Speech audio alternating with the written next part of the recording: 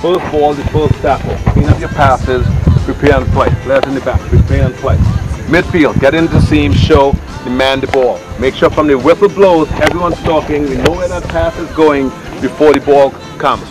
Attacking players, go at backs, go at goal, take your opportunity to shoot. Okay, here we go. One, two, three, 100%. Right off the start, guys, set the tone.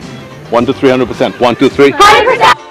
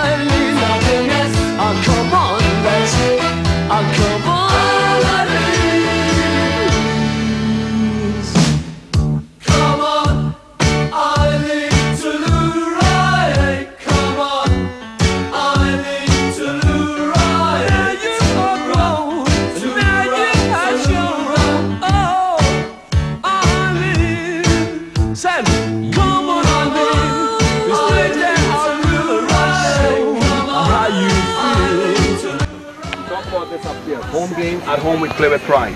Let's go out there and set the tone in the second half. If you're not sure, clear it, serve it. But if you're sure, put it on the ground. Let's make them play. Here we go. One, two, three. Soccer. Finish. Play Here we go. soccer. One, two, three.